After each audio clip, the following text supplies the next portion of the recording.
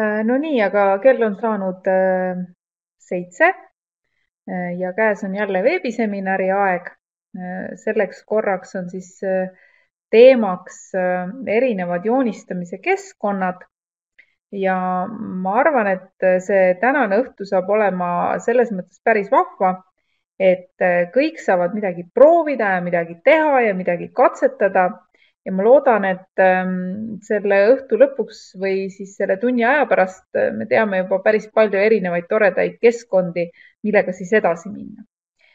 ja tegelikult, äh, kust äh, tuli siis see mõte teha just eraldi selline keskkondade teemaline veebiseminar, siis ma ei tea, kas mõned teist äkki osalesid, aga meil oli ühel hetkel selline veebiseminar, kus me tutvustasime õpetajate ja haridustehnoloogide lemmiktöövahendeid. ja, ja äh, siis oli neid töövahendeid oli hästi palju ja me käisime neid lihtsalt läbi.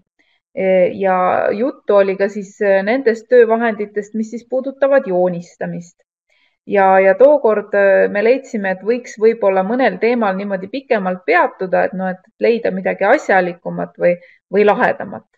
ja tookord siis, kui me joonistamisest rääkisime, siis äh, minu suureks üllatuseks oli siis võitjaks selline programm nagu Paint. et noh, et mõnes mõttes jah, et ta on ju kõigis arvutites olemas ja kõige lihtsam. aga et ta siis äh, niimoodi Eesti õpetajate lemmik oli see võib-olla kõige, noh, minu jaoks oli selline mitte kõige parem uudis. ja seetõttu siis täna siis väike mm, teistmoodi veebiseminar, kus me proovime leida siis uue lemmiku endale. nii, tere veel kõigile, kes siin lisanduvad, väga tore, võtke istet, et me juba alustasime. ja äh, kõigepealt nüüd, kui te vaatate siit äh, vasakult poolt üldse, siis Äh, meeldivad sellised keskkonnad, mis on need, mis on mul võib-olla arvutisse installeeritud juba, et äh, kus mul on mugav toimetada nagu Paint ja PaintNet ja Drawing for Children. Skitch on küll äh, nutiseadme tarkvara. aga noh, äpi peab ikka alla tõmbama ja siis ArtRage, Tux Paint, OpenOffice, Draw, et näete siiamaani, kus see kaksteist häält siit vahelt läheb, et siiamaani on tegemist ainult siis alla laaditavate tarkvaradega. ja äh, siis, mis siia teisele poole jääb, see on siis, seal on igasuguseid muid asju, nii ja naa asju. ja ma arvan, et äh, kui ma nüüd teie käest küsin, et äh, Paint või PaintNet, et kes siin siis teist on nüüd PaintNeti inimesed ja kes on siis Painti inimesed, siis võite siia chati kirjutada, et, et kumba teie eelistate et ähm, Paint on jah, alati hästi kättesaadav, aga näiteks kui mina mõne uue arvuti taha äh, asun, siis äh, mina tavaliselt kohe panen endale, installeerin siis sellise programmi nagu PaintNet.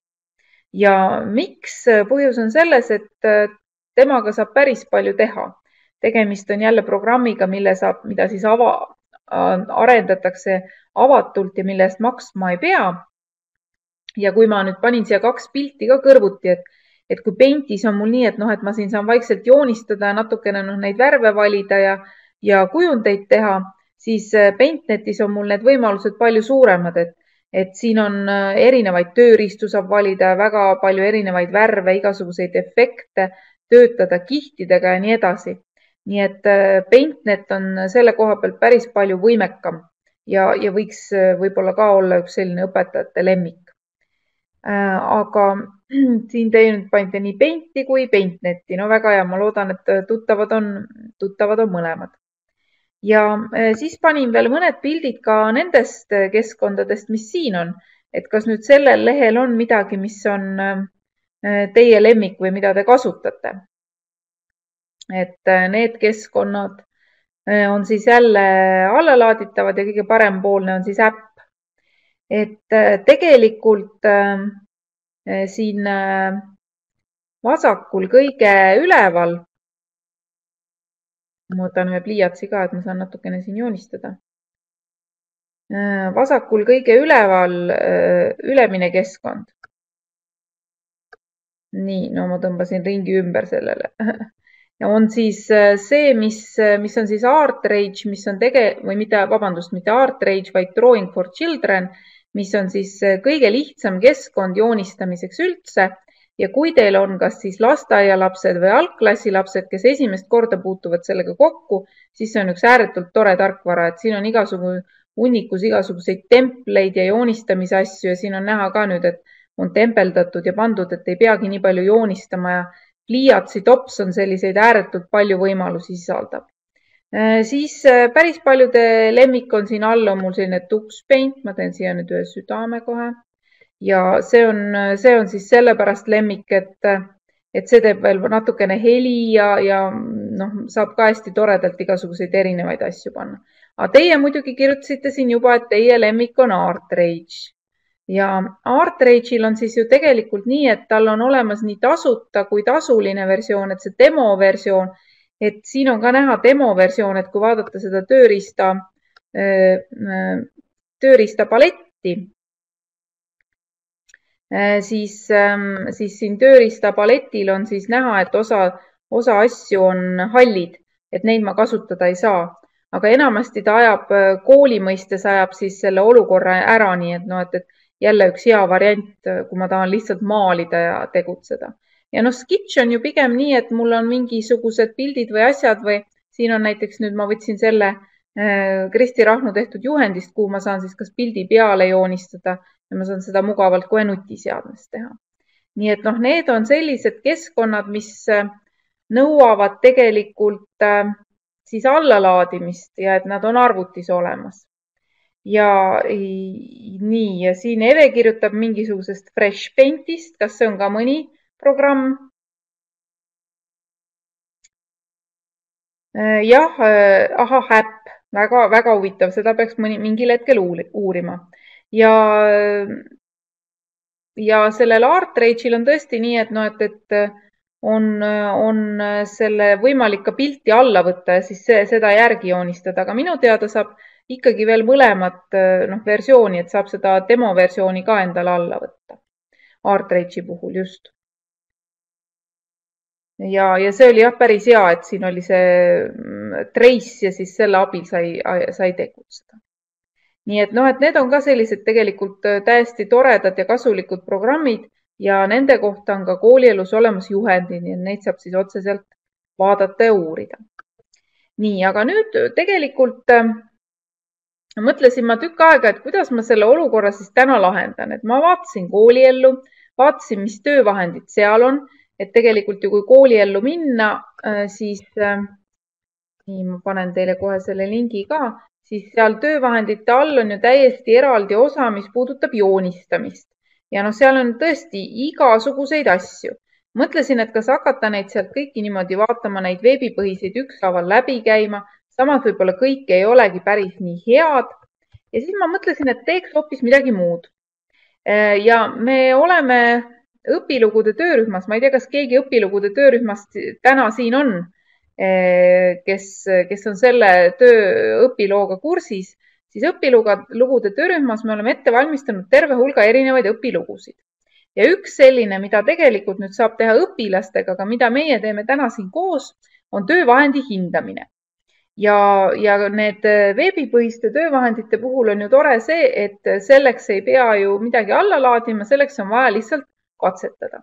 ja meie ka juba tegelikult, noh, me ei lepi kokku, mina ütlen, et see praegu nii on et meie hakkame siis otsima ja katsetama selliseid töövahendeid, mis on seotud joonistamisega ja kus ma saan siis noh, midagi siis niimoodi konkreetselt teha ja mis oleks siis noh, mõnes mõttes lahe.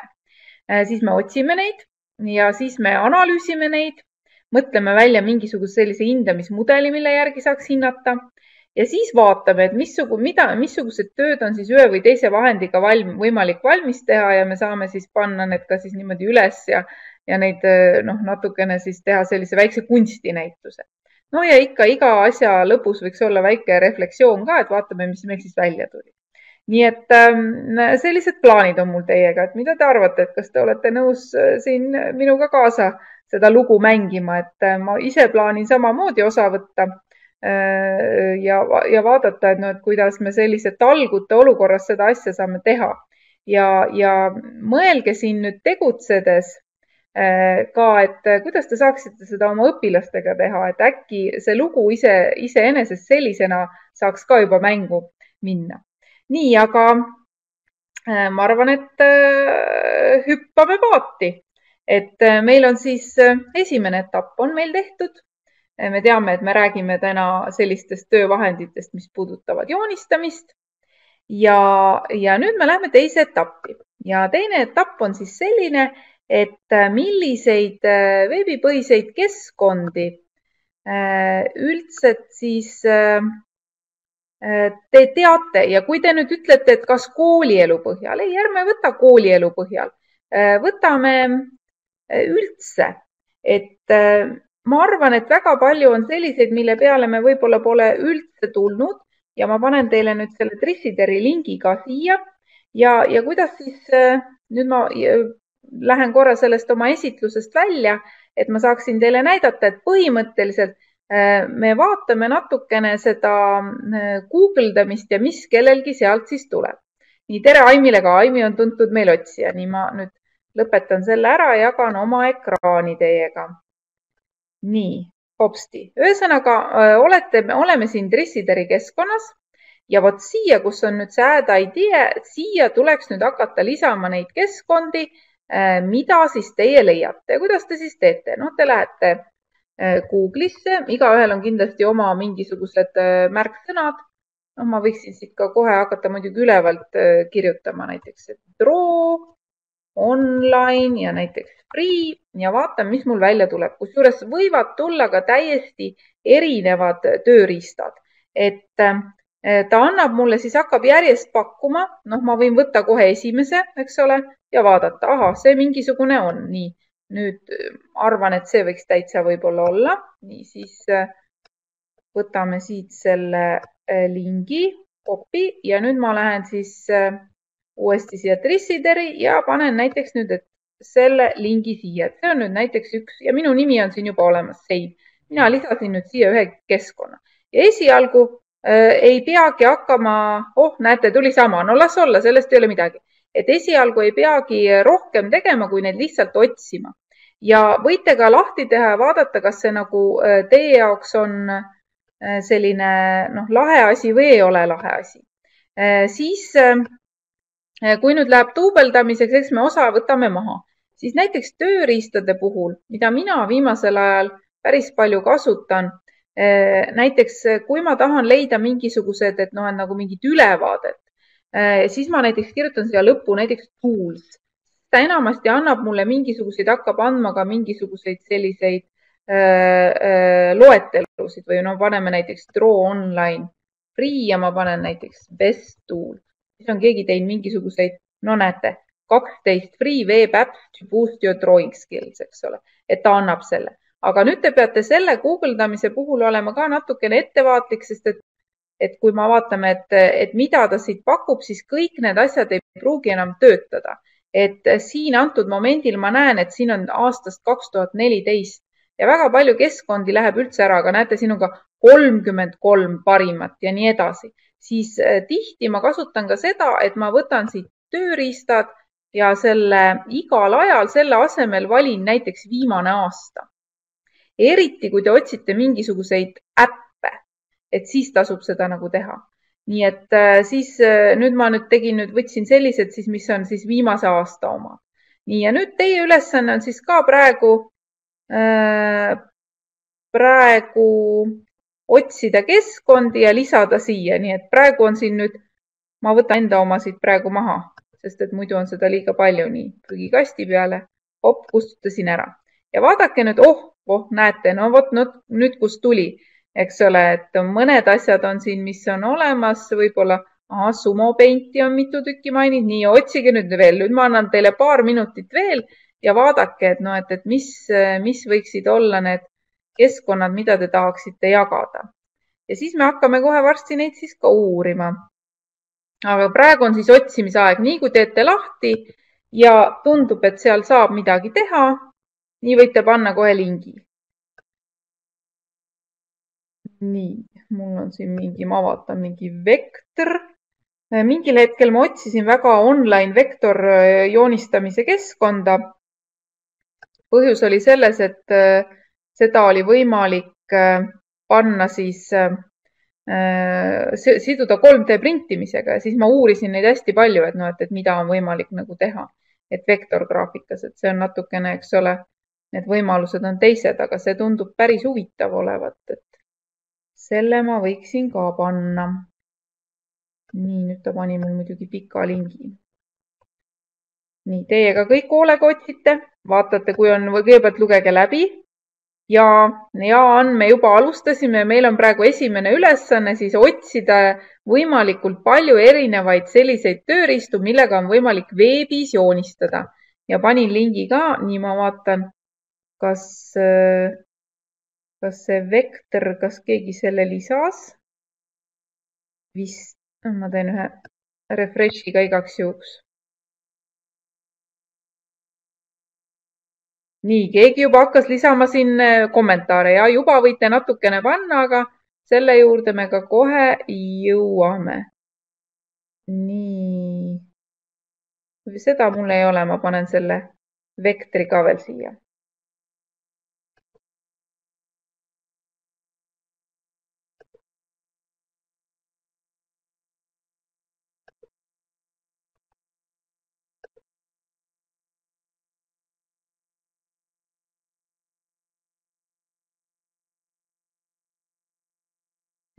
Nonii. noh, näete, mis meil on siin praegu olnud. Äh, paari, paari minuti jooksul on, on tulnud ääretult palju erinevaid keskkondi. Äh, kui kellelgi on veel mingisugune hea selline otsimise märksõnad, mida teie panite, siis te võite ka, võite ka kohe lisada, et mis, mis olid need teie märksõnad, mille abil te otsite just neid keskkondi sest et seal on ka täiesti huvitav, vot sellest otsimisest, eks ole, me väga palju ei räägi, et mida me siis paneme ja kuidas me, kuidas me neid asju öö, muudame. et no võib-olla Draw ei olegi kõige parem, äkki on hoopis näiteks mingi sketš või, või midagi sellist. Pencil Madness, no vot oi, oi, oi, oi, oi, oi, kus ma jõudsin praegu? Game, sketš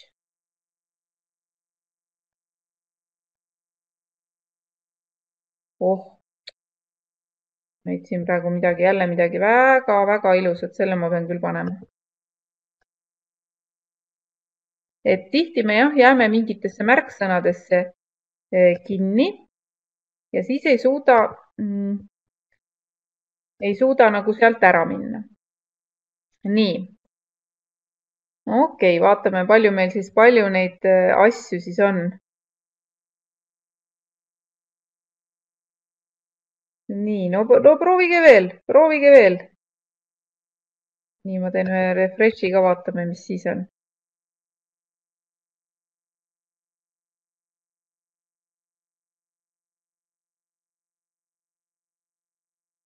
nii, tere Tiinale ka. ootame just abilisi kunstiõpetajaid ka, kes äh, tuleksid ja aitaksid. me otsime praegu erinevaid keskkondi, milles on võimalik joonistada ja see on siis meie, äh, meie ülesanne. Äh, ja kohe saab see ülesanne läbi, sest me läheme juba järgmise, järgmise keskkonna juurde. nii, aga nüüd siis, äh, nüüd siis teeme sellega praegu siis stopi.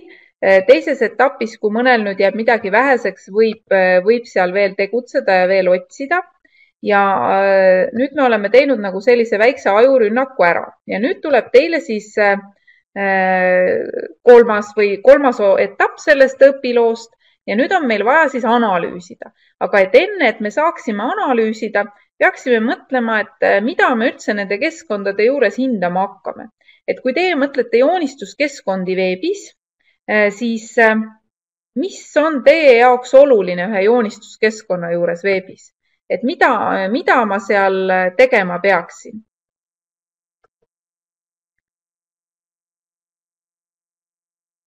nii, ja nüüd ma ootan, nüüd ma ootan teilt siis äh, neid mõtteid, et mis võiks olla, me võime võtta näiteks mingid viis olulist punkti.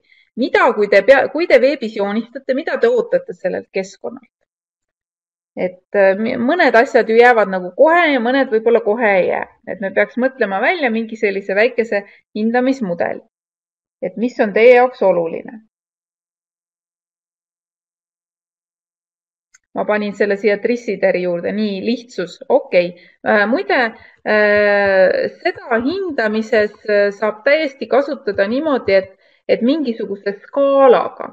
Et mul on tihti olnud niimoodi, et, et mida lihtsam, eks ole, seda rohkem punkte peaks saama, et ma tahan, et asi on lihtne ja see on see, et kas ma leian asjad kohe üles ja siin ei maksa üldse nagu mõelda selle peale, et, et kas, kas nagu need asjad on siis kohe automaatselt niimoodi, et, et noh, et noh, põhimõtteliselt iga laps või iga inimene peaks loogiliselt aru saama.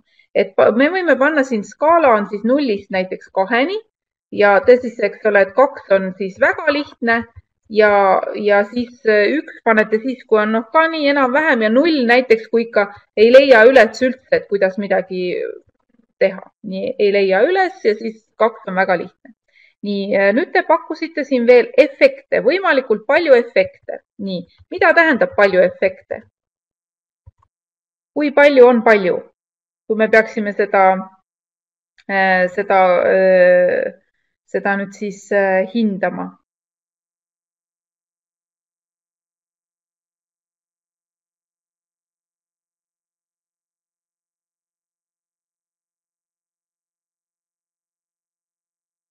sest efektid on jah, äh, ikka kahekohaline arv, no selge. no me võime ka siin panna, eks ole, et efektide puhul, et, et null on siis näiteks väga vähe ja kaks on siis, kui on äh, kahekohaline arv. ja kui on siis ühekohaline arv, siis panete ühe punkti, eks ole. üle kümne, nii, no üle kümne, väga hea, üle kümne, see on kahekohaline arv. nii, äh, siis mainisite veel kasutatav erinevates seadmetes siin, kuna me nüüd otsime veebikeskkondi, mitte nii palju äppe, äh, kusjuures see võib ka olla, et mõnel keskkonnal võib tõesti olla, et, et on olemas ka spetsiaalne äpp, siis on see brauserites, töötab, töötab erinevates brauserites. Äh, ja muide, seda tasub alati, alati kontrollida ka, et Äh, on ju need, kes on äh, Chrome'i äh, sõbrad, aga teised kasutavad ka Edge'i või siis Mozillat või Operat, et kahe, vähemalt kahes brauseris tasuks proovida. nii, siis oli siin juttu veel kihtidest. kihid tähendavad siis seda, et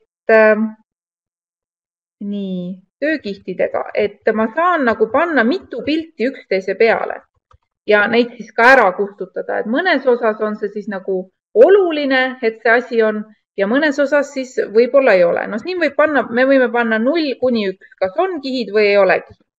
nii, kui te aru ei saa, siis võite chatis kohe küsida, siis teised aitavad. nii ja siis oli üks osa veel oli äh,, äh, oli ka, ma vaatan siin üleval äh, Äh, jah, valmistöö allalaadimise, allalaadimine, et kui ma saan veebis midagi valmis, siis äh, kuidas see allalaadimine on? allalaadimine, et missugused failiformaadid? Äh, mõned lubavad näiteks ainult PDF-i või midagi ja mõned lubavad siis noh, ütleme palju erinevaid formaate. me võime teha siin ka nullist kuni kaheni, et näiteks kaks tähendab seda, et rohkem kui kolm failitüüpi. et kui pakub ainult ühte, siis panete, et saab ühe punkti. nii, ja vot nüüd me viimase, vot kuues, vot kuues ongi tegelikult see, et näeks parem välja kui käsitsi joonistades, vot eks ole, et me võime selle meeli, eh, meelipunkti siia täiesti panna, sest saab ka panna selliseid noh, emotsionaalseid hindamisskaalasid siis, eks ole, et äh, näeb välja parem kui käsitsi või kui pliiatsiga näiteks, jah, kui pliiatsiga joonistades. Nii, no ja see paneme null või üks, nii. ja siis muide, kui mina teen mingi hindamismudeli, siis ma panen veel mingid lisapunktid, et vaadake, kui me hakkame hindama, siis me ei tea, mis on nagu, mis võimalused üldse on, äkki on sellel me üldse ei osanud panna seda oma hindamismudelisse. Paneme siia null kuni kaks, et kui te nüüd vaatate, et talle võiks millegi eest lisapunkte anda, siis võiks anda. nii, nüüd me tegime teiega kiiresti ühe sellise hindamismudeli ja muide, selliseid asju tasub ka tegelikult õpilastega arutada, et mille järgi seda üldse hinnata. Ja nüüd läheb hindamiseks. Ja nüüd on niimoodi, et äh, mõned võib-olla lisasid siia meil veel mõne keskkonna. kui te tahate nüüd mõnda keskkonda hakata hindama, siis vaatame, et üle kolme võib-olla ühele keskkonnale ei jää, siis seal jälle, kui näiteks mina tahaksin väga näiteks seda vektrit hakata hindama, siis ma panen selle add argument ja kirjutan siia lihtsalt juurde näiteks, et Ingrid hindab ja siis panen save. et nüüd on niimoodi muidugi, et mõnes, ma soovitan teil võtta mõni selline, millega te varem kokku pole puutunud. nii et mina nüüd siia ei trügi praegu vahele, mina võtan pärast seda, mida siin väga palju on vahele jäänud et äh, võtate siis selle add argument ja panete, et näiteks oma nime ja et äh, Ingrid hindab või Ann hindab või Velle hindab. ühesõnaga vaadake, mis teile siit tundub. Et kui nüüd siin teil on tunne, et siin mitte midagi head ei ole, siis võib veel muidugi juurde ka otsida, sest ma arvan, et me leidsime praegu ainult jäämäe sellise äh, väikse osa ainult üles.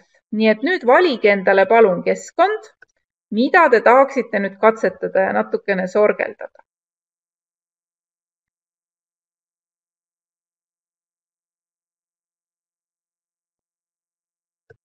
nii, ma kirjutan siia chati ka.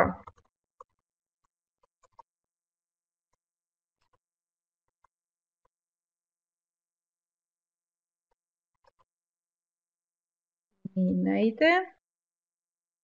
Ingrid hindab.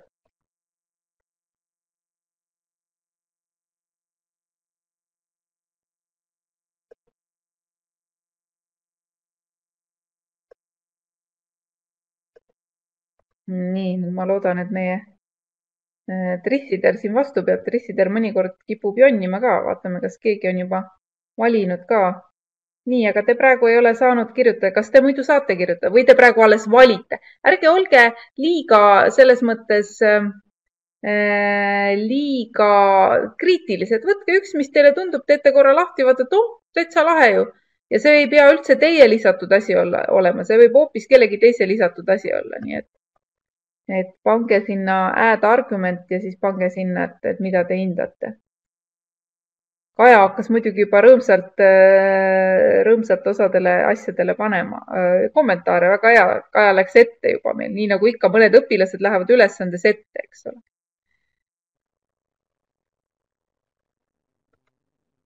nii, ma praegu refresh in siin kogu aeg, oodates esimesi nimesid Nonii, Daily, super, ahah, näete, Ann uurib, ahah, pilvi, väga hea. nii, ja need, kes nüüd on äh, selle välja valinud, nüüd te saate teha siis sellisel viisil, et te saate see keskkond, mis teil on, teil on olemas siin hindamismudel.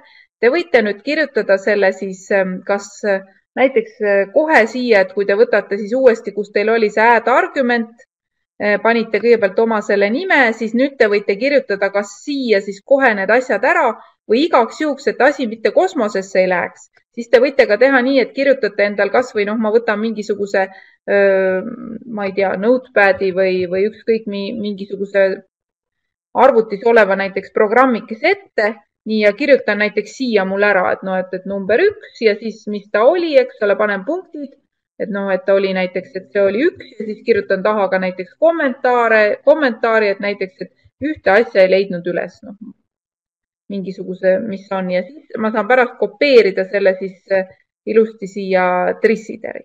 nii et nüüd on teil siis natukene aega siis äh, süveneda keskkonda. nii, ma veel äh, vaatan, vaatan nii kaua. Teie muudkui valige. ma vaatan, äkki ma leian ühe, ühe, ühe keskkonna veel, siis ma saan niimoodi, et ma ei võta seda kellegi eest midagi ära oh, kolmkümmend kolm tööriista, uskumatu. ma tean ühte, mis meeldis kunagi õpilastele väga, oih, siin on isegi mingi fats painting. ma kunagi olen teinud õpilastega koolis sellist asja, mis oli nende lemmikkeskkond. Ja see oli täiesti uskumatult lahe keskkond, ma isegi, ma otsin selle üles ja siis ma, siis ma saan äh,, oi. osa keskkondi on topelt, nojah, siis ärge lihtsalt äh, las nad, las nad praegu olla, me saame nad pärast ära kustutada, et, et siin me lihtsalt aja kokkuhoiu mõttes. jah, nii AV-äpp näiteks on, ma kustutan siit ühe näiteks ära. Äh, Sumo Painti on kaks, kustutame ühe ära et jah, et ei tekiks nii palju. hea on, kui te võtate just midagi, hea on, kui te vaatate, et võtate midagi muud, mida, mida teised ei võta, eks ole, et võib küll ka kaks tükki ühte, et, et õpilaste puhul on muide kasulik, kui on mitu tükki, võtavad ühte ja sama. oi, vot siin on, ma panen, et kes, kes, kes nüüd tahab veel midagi otsida, ma panen teile selle lingi siia chati. aga siis äh, ma otsin ikka seda õpilaste lemmikut, see oli aastaid tagasi kus me katsetasime, õpilased niimoodi katsetasid, terve kunstiõpetuse tunni muide katsetasid. Äh, ja see peaks olema mul oma kunagises, kunagi ma pidasin ühte blogi, see on mul veel üleval, kuigi mõned on öelnud, et tasuks juba maha võtta, nii vana. ja ma võtan, vaatan kohe siit, mis see siis oli. minu meelest oli see veel täiesti alles, ahah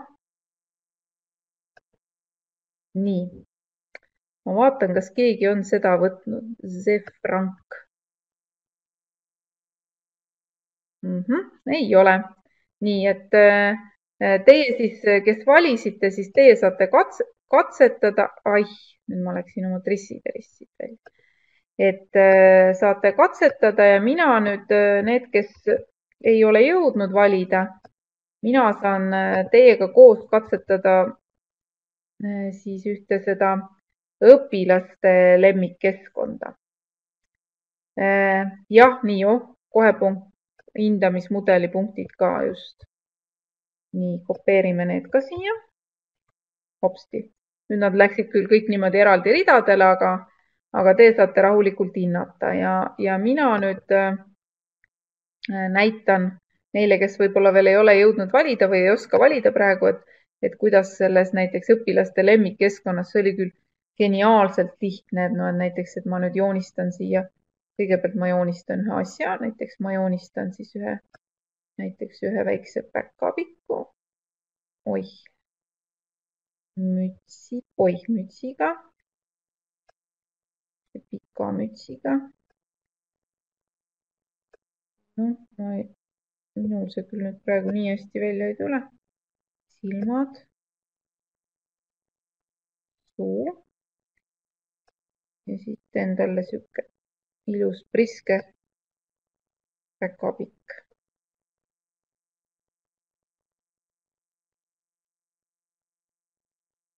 nii, ja nüüd panen, et ma olen valmis ja nüüd ma hakkan seda siis Scribble'iga äh, tegema nii, ja nüüd, kuigi minul oli selline täiesti suvaline halvasti joonistatud päkapikk, siis tema joonistab mul nüüd selle selliste joontega hoopis, hoopis ilusamaks. nii, ja siis ma võin vahepeal pausi panna, ma võin jälle panna edasi, et ta teeb seda aina tumedamaks.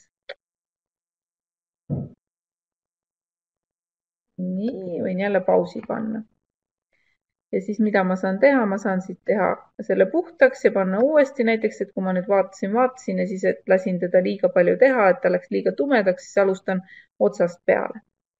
nii et noh, et, et selline ge geniaalselt lihtne keskkond tegelikult. nii, oh, osa ütlevad, et nemad on seda teinud õpilastega, et värve saab ka lisada. no vot, vot, vot, vot, vot nii, siit nüüd tuleb vaadata, läheksin siia setting ute peale ja siit ma saan tõesti valida, mis on päkapiku värv. punane või?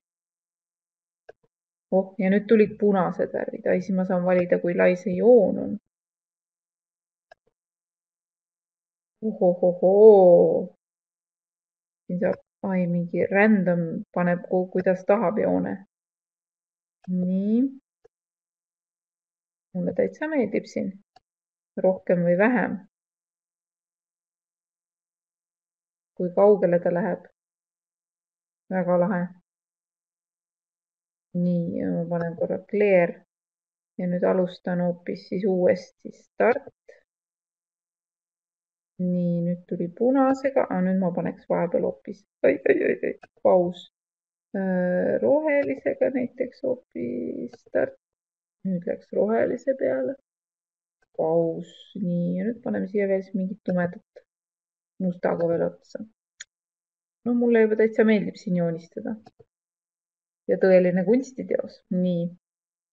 Teie muudkui hindate ja nii, mina nüüd vaatan siis äh, selle ka üle ja siis hindan nüüd selle, äh, selle Scribble'i puhul, et mis asi see mul seal oli. Äh, lihtsus ei leia üles, väga lihtne, nii no tegelikult jah, ta on küll lihtne, aga tegelikult ma ei leidnud seda värvimuutust, ma nüüd kohe ei leidnud. kohe ei leidnud, ma annan talle ikkagi ühe punkti nii äh, palju efekte. noh, efekte siin noh, mõnes mõttes olid nagu efektid, aga need ei olnud need pildi joonistamise efektid, aga noh, see jälle efekti peale mängis, annan jälle ühe punkti. Panen üks efekt oligi äh, kolmas, äh, vot nüüd ma ei proovinud teda erinevates brauserites, siis ma võin lihtsalt võtta selle lingi ja noh, mul on siin ka terve variant, et osa, mis mis on mingid Java põhised asjad, need teinekord igal pool ei taha töötada, aga noh, see oleneb jälle, kas kõik asjad on öö, tehtud, nii siia võiks teha ühe öö, päikese näiteks.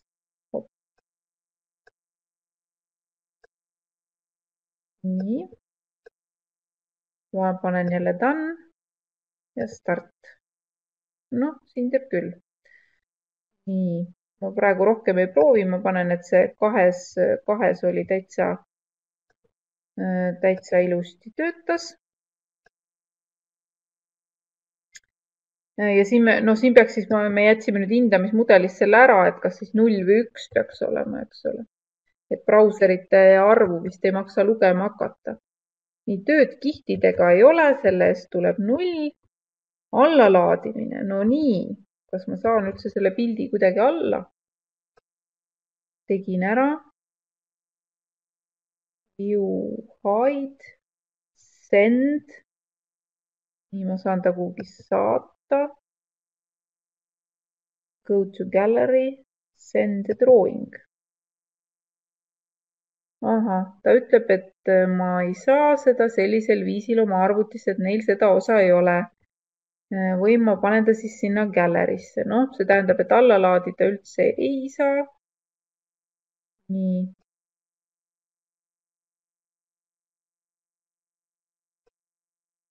ja nüüd, kui ma tahaksin selle pildi endal saada, siis ma peaksin kasutama print screen'i või mina kasutan näiteks lõikeriista.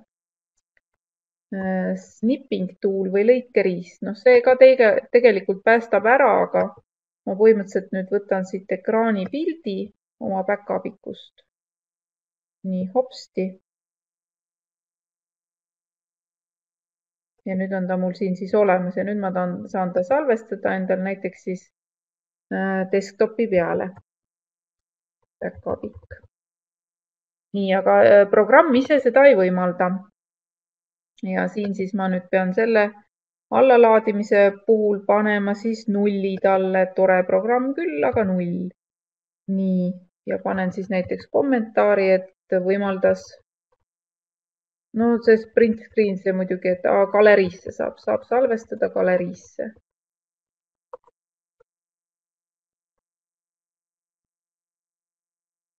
nii.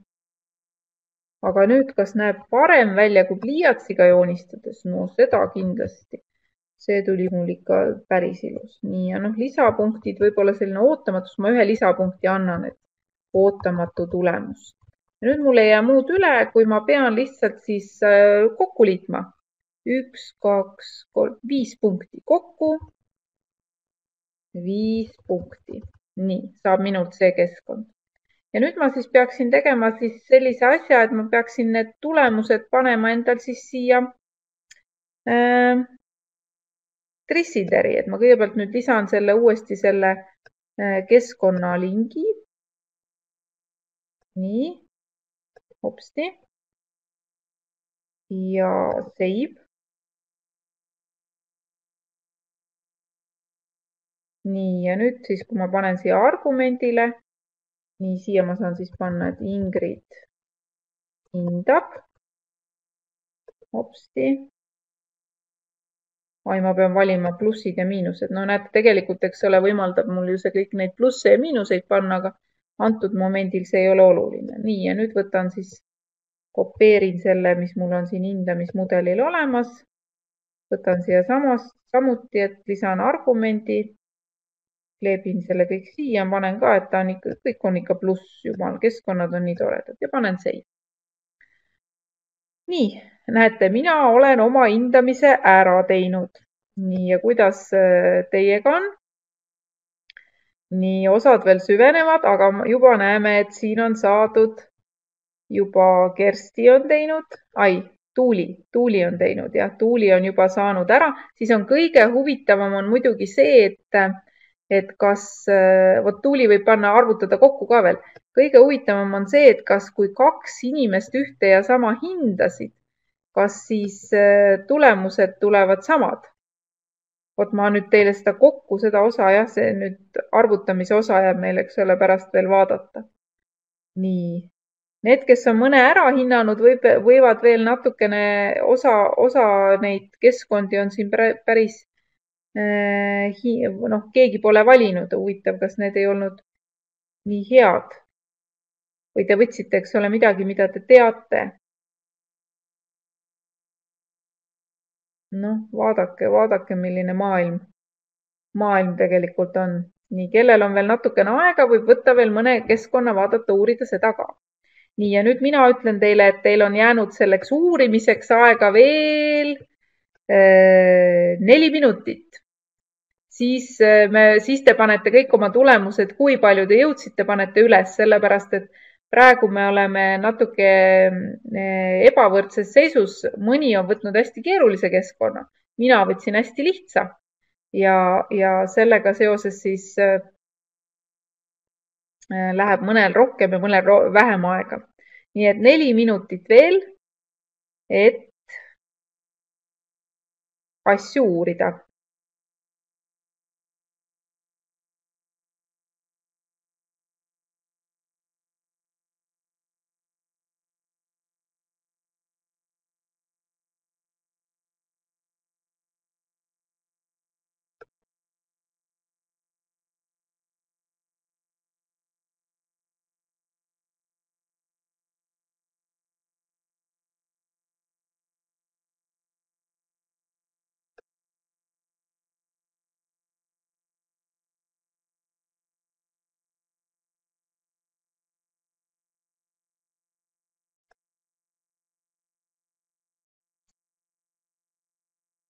oh, ma leidsin veel väga laheda, mis on tõeline sügismasenduse vastu olev keskkond.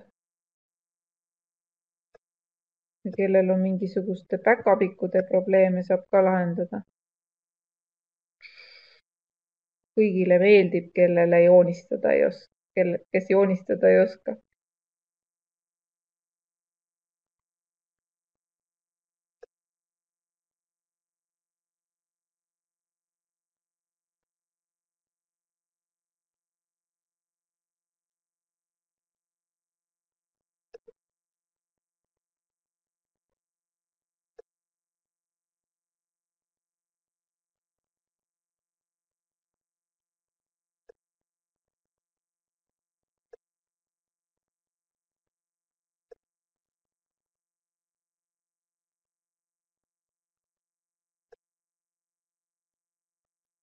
Teil on jäänud veel kaks minutit.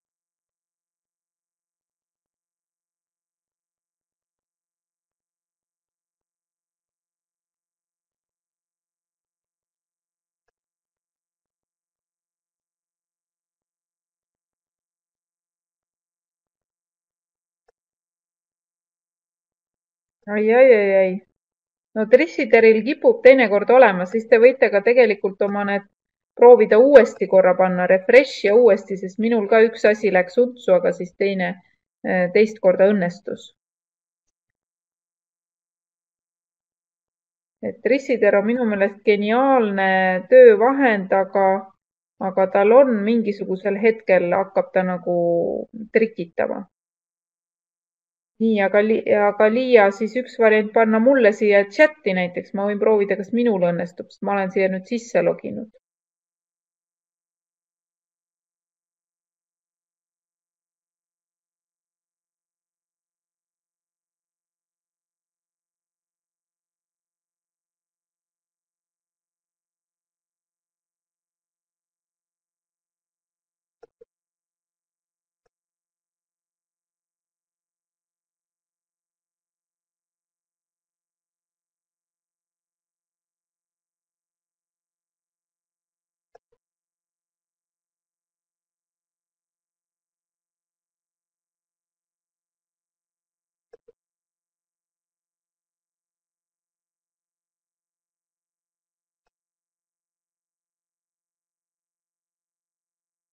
no nii, mingid asjad on meil siin lausa kaheksa punkti saanud.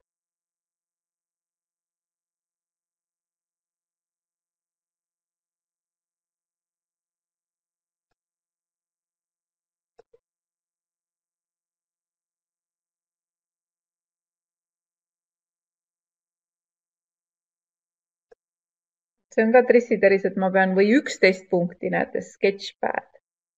Et ma pean alati võtma selle moor, kui ma tahan teada, et äh, kui palju punkte siis, äh, punkte kokku tuli. Äh, ma, mina kunagi kasutasin selliseid hindamismudelipõhiseid asju, et ma hindasin erinevaid keskkondi hästi palju ja siis oli teinekord oli nii, et, et see mudel töötas imehästi ja mõnikord see mudel siis ei töötanud Nonii, aga nüüd on siis, on siin sellist hindamist ja asju päris, päris palju. mõni keskkond sai siis üle vaadatud. ja nüüd meil tuleks siis mõnes mõttes ka näidata seda võib-olla, mis teil siis välja tuli, et nüüd siis me jõuame sellise esitlemise keskkonda, et ma saan aru küll, et te katsetasite aga midagi, noh, minul tuli päkapikk, kellelgi tuli midagi muud, et nüüd võiks näidata, et millised need visuaalselt siis välja näevad, need teie, äh, teie pildid ja ma tegin siis selleks ühe Padleti, et me saaks ikkagi ilusa kunstinäituse ka teha. nii ja oma hinnangu pärast ärge üldse muretsege, et ähm, äh, vot see ongi tegelikult oluline, et neid keskkondi Äh, katsetaksid erinevad inimesed ja muide ka erinevad õpilased. mõni leiab kiiresti üles, mõni ei leia, aga tegelikult, kui neid keskkondi võtta, siis nad peaksid olema üles ehitatud sellise loogikaga, et minu jaoks on loogiline leida ühte või teist asja siit või sealt või ta on kasutanud näiteks selliseid ikoone, mis aitavad seda teha. nii et äh, ja nüüd saab siis siia, siia võite siis panna oma väikse kunstinäituse, mina panen siis siia kirjutan Ingrid ja mul oli siis, äh, nüüd ma pean siis võtma ühe pildi ka siia. ja siis lisan, no ah, nii, kus ma nüüd selle pildi sain? oih, siia tuleb kogu aeg juurde, siin on nüüd vot nüüd kõik äh, toimetavad. nii, promo, nii, mina pean oma siit üles, nii, kus ta mul oli, päkapikk, mina panen oma päkapikku siia. nii ja siis ma saan kirjutada veel seda, et, et ma panin ta siis selles Scribbly keskkonnas. Nii, oih, huvitav, miks ta nii koledaks teeb, need pildid. nii. hopsti, ma peaks äkki muutma ära selle layout'i või, või et äh, ma panin just nagu sellised, mis oleks oih, nüüd kadusid üldse ära.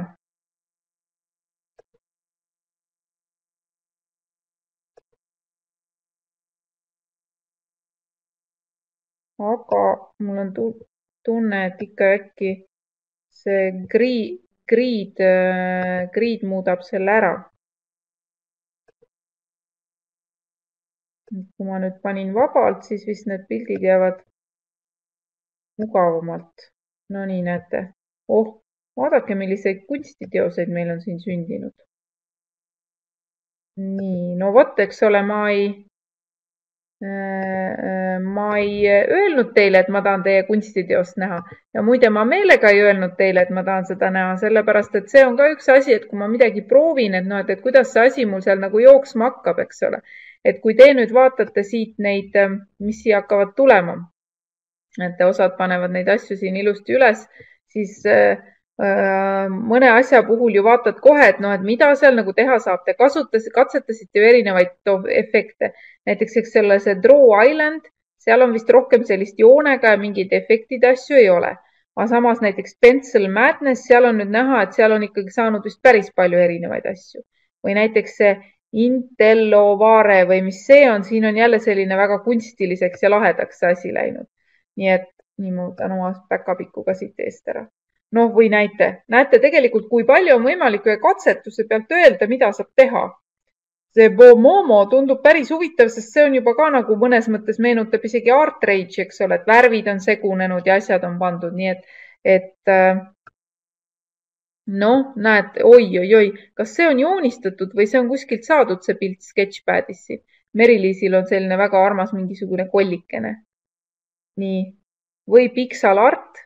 Vot muide, need Pixel Art, see on vist ka suhteliselt lihtne keskkond, aga tal vist on see, et väga tihti on vaja igasugust sellist pikslitega asju teha oh,. või siin näiteks, siin on jälle nüüd üks see, no vaadake, kuulge, no meil on täiesti kunsti, kunstinäitused on, näitus on siin olemas.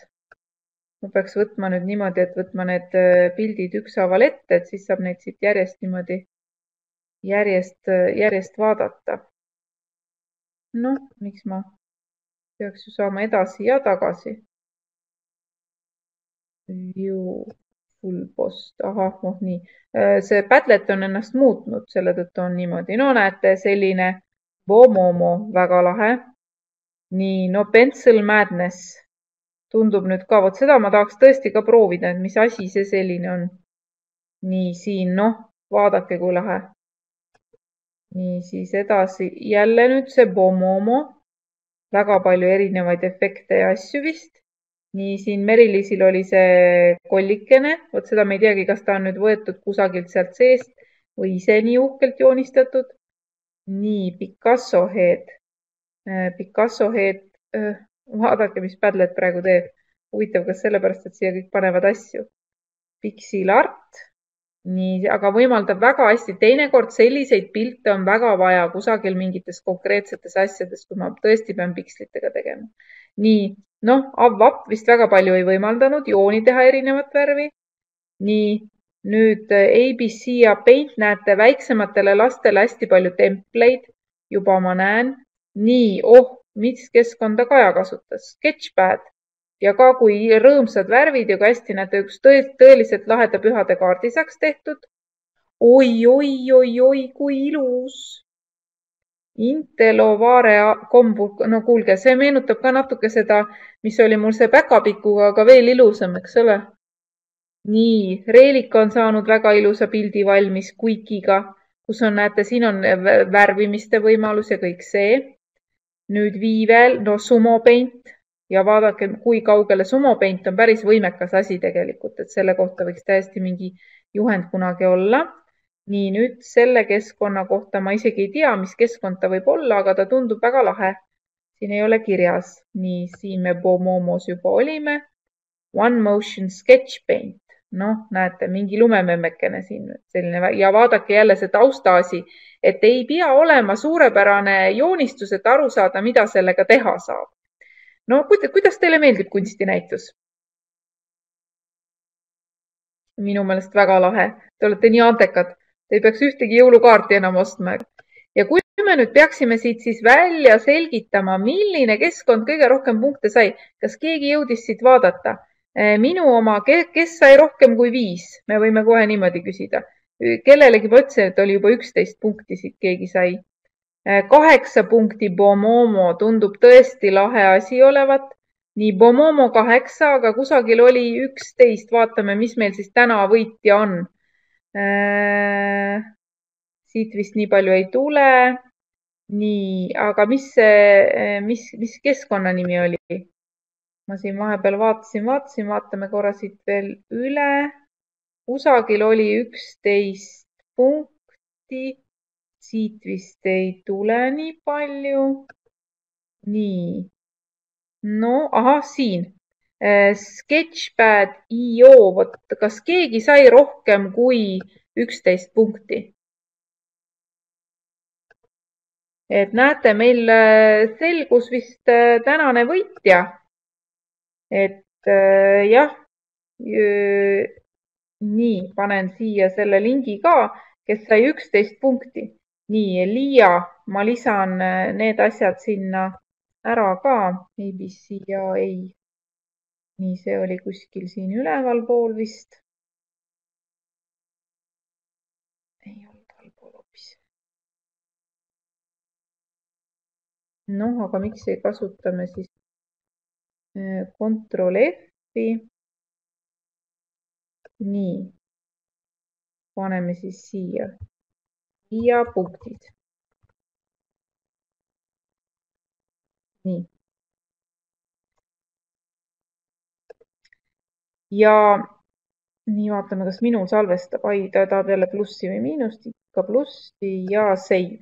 nii, ja nüüd on äh, jah, eks ole, et hindamismudel paneb, äh, paneb selle, need asjad ette, et kuhu maani me võime jõuda, aga meie tegime sellise väga lihtsa hindamismudeli ja nüüd on meil jäänud veel äh, tegelikult äh, viimane osa, sest kas te panete tähele, kui kiiresti on äh, seekord läinud meil see aeg, et ma võin vist praegu täiesti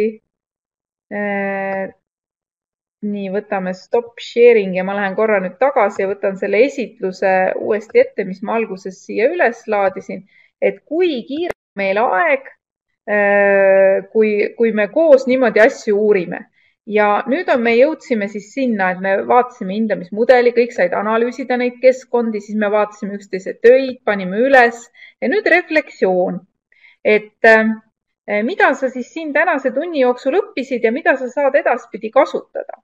et see tuleb teil nüüd kommentaaridesse panna, et seda ma mõtlesin, me kuhugi veebi välja üles ei pane et nüüd võite siis oma ideed ja mõtted kirja panna, et kas äkki, mis tunne teil selle hindamismudeliga tekkis, et kui te nüüd neid äh, kunstinäituse pilte vaatasite, kas siis te olete nõus äh, selle meie äh, võitjaga, mis siis oli meil siis Sketchpad, jah, Sketchpad või Sketchio nimi vist on tal siis Sketchpad või on teil tunne, et teie oma oli ikka veel parem?